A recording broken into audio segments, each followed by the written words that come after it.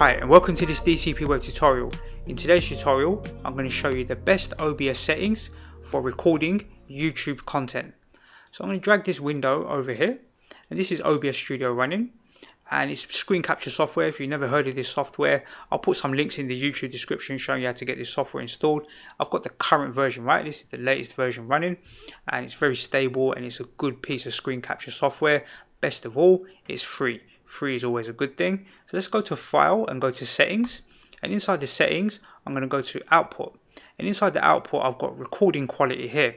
So you can set this to, same as stream, you can set it to. You wouldn't, you're not really streaming at the moment, so in this case, I'm not really streaming.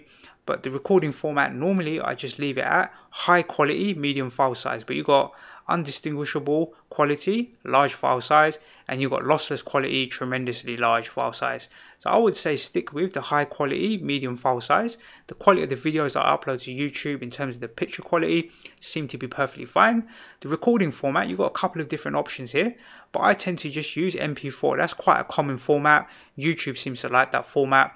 So why go through the effort of using a different uh, video format like you know these other ones here like FLV and so forth and then you just have to transcode that video content anyway. So MP4 is pretty good. Encoder 100% if you've got hardware encoding option selected here then select that option hardware encoding. You don't really want to be encoding on software.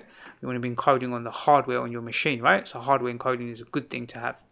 If we go over to the video settings inside the video settings normally I select one or two options here in the frame rate if I'm recording things that are fast motion, so if I'm doing something maybe in Blender where there's a lot of movement, then 60 frames a second seems to be a sensible option. But if you're doing something like a tutorial or um, on say let's say Excel spreadsheets where your mouse cursor and the content isn't moving very much, then you can get away with 30 frames a second. That should be fine. It shouldn't be an issue.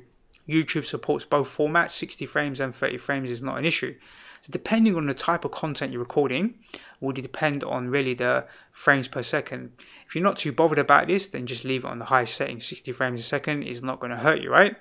The only difference is, obviously, 30 frames and 60 frames is double the amount. So 60 frames a second will be a larger video file size, but you're going to have many more frames, so the movement of mouse cursors and so forth will be a lot smoother.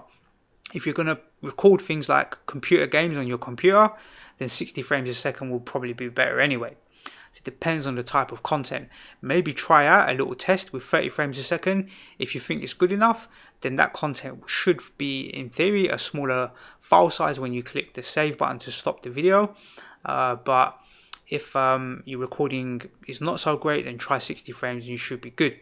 So those are the settings I use and I have been using for the last three or four years using OBS, OS, uh, OBS Studio to record my content for YouTube. So you can see I've put over 500 videos up on YouTube, um, various content on various subject areas. It's all knowledge based stuff, all to do with tutorials and all to do about learning. But I thought I'd share these settings with you because I use them every day and it's nice that you can see what settings I'm using and maybe you can use that uh, when you create some content as well. So let's go ahead and click cancel. We don't need to change anything here. This is a little OBS Studio running here. Awesome software. I definitely recommend you try and download this software and give it a test. So if you're using some other screen capture software that you're paying for, why not try out this free version? And if it works just as well, then you've got something for free, right? Won't hurt. Okay, let's minimize this. That's the end of this tutorial. If you've got any questions, feel free to write a comment in the YouTube or the Facebook uh, uh, commenting and I'll try and reply to those and try and help you out. If you like this video, give it a thumbs up and also don't forget to check the description because I'm going to put some other um, OBS tutorials in there so you might find those interesting as well. I hope you enjoyed this tutorial and I look forward to seeing you in the next DCP web tutorial.